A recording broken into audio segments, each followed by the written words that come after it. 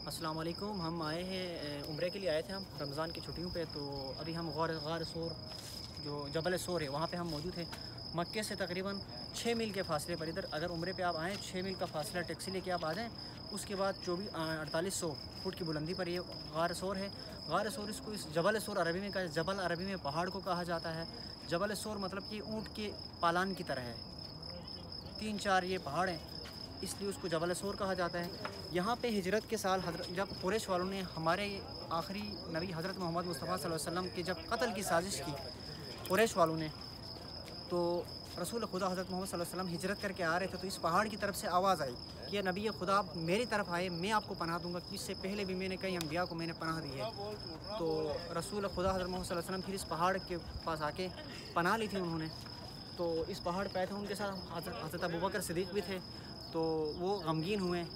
जब मकड़ी के जाल के पास कुरेश वाले आ गए तो वो गमगीन हुए थे। रसूल खुदा ने उनको कहा कि आप गम ना करें। उसके अंदर कुरान की बाकायदा आयत आई कि आप गम ना करें, आपके साथ ही गम ना करें। अल्लाह आपका निगहबान है, अल्लाह आपकी हिफाजत करने वाला है। तो उस साल हज़रत मोहम्मद मुस्तफ़ा सल्लल्लाहु अलैहि वसल्लम ने अपनी अमानतें जो थीं, मुख्तलिफ़ कुफ़ार भी हमारे नबी हज़रत मोहम्मद मुस्तफ़ा सल्लल्लाहु अलैहि वसल्लम अपनी अमानतें अमानत अमानतदार थे, सादिक और अमीन थे, कुफ़ार ने भी अपनी अमानतें रसूल खुदा के पास रखी थी। तो वो अमानतें मौलाए मुतक़न हज़रत अली इबन अबी तालिब अलैहिस्सलाम के पास छोड़े, शेर खुदा हज़रत अली के पास। तो हज़रत अली के बारे में हज़रत अली ने भी ये कहा था कि मैं उस रात मुतमिन होकर सोया, क्योंकि रसूल खुदा ने कहा था, ए अली, सुबह ये अमानतें, आपने अमानतदारों को अमानतें लौटानी हैं। तो ये था तो यह भी हम आपको गार का थोड़ा व्यू दिखाते हैं मुख्तर सा गार सोर का ये है। तो ये आप देख लें। ये गार सोर है।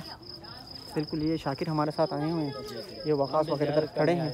तो अड़तालीस सौ फुट की बुलंदी पर है और ये पूरा इस जगह पे जब आएँगे तो ये पूरा मक्का सिटी आपके अकब में आता है। आरिफ भाई हमारे साथ हैं। सलाम कर रहे हैं आपको। हमारे दोस्तों ने काफ़ी ने एक कहा दुआ में याद रखी सबके लिए दुआ की है। तो ये पूरा मक्का सिटी का व्यू आता है इधर से। अड़तालीस सौ।